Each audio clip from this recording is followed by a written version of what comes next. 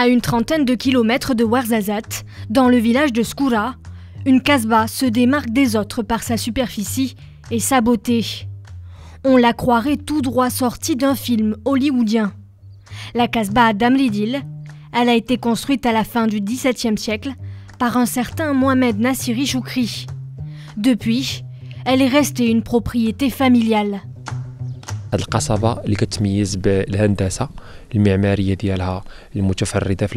C'est l'une des casbahs les plus connues. Elle avait été sélectionnée au temps de Hassan II pour les billets de banque. Elle a joué un rôle aussi bien religieux que militaire. C'est une ville qui a protégé les tribus contre les ennemis. C'était aussi un lieu de rencontre des résistants de l'indépendance pendant le protectorat français. La beauté et la singularité de cette casbah a attiré de nombreuses productions cinématographiques étrangères. Elle a servi de décor à plusieurs longs métrages. Deux films emblématiques ont d'ailleurs été tournés au sein de la citadelle, tels que Laurence d'Arabie ou encore Ali Baba et les 40 voleurs. Autre lieu chargé d'histoire et très apprécié du 7e art, un village fortifié aux allures de carte postale. Le Ksar, Eit Ben Haddou, situé dans les contreforts du Haut Atlas.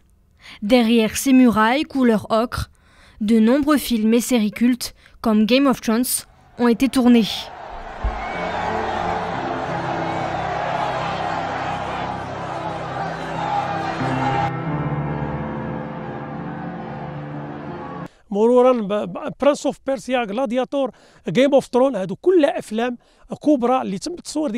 Plusieurs films ont été tournés, notamment Gladiator et Game of Thrones. Le site est choisi pour la lumière idéale qu'il offre, mais aussi pour la main-d'œuvre locale, qui a l'habitude et qui a acquis une certaine expérience en matière de décor, mais aussi en tant que figurant.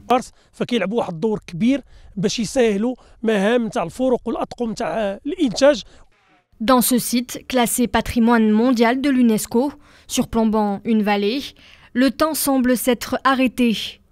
À une trentaine de kilomètres des studios de Ouarzazate, lieu emblématique du cinéma au Maroc, Ait Ben Haddou est le plus célèbre des Ksar au sud marocain. Le cœur de Ouarzazate regorge de trésors. La Casbah de Taourirt, datant du XIIe siècle, en fait partie. La Casbah est partiellement restaurée constitue un lieu touristique incontournable.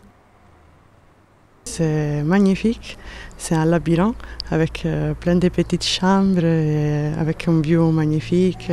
C'est vieux, on voit que c'est vieux et original, et ça vaut le coup. Avec ses murs couleur sable et ses petites fenêtres ornées de mouches arabiées, cette casbah, une merveille d'architecture, est classée au patrimoine mondial de l'UNESCO.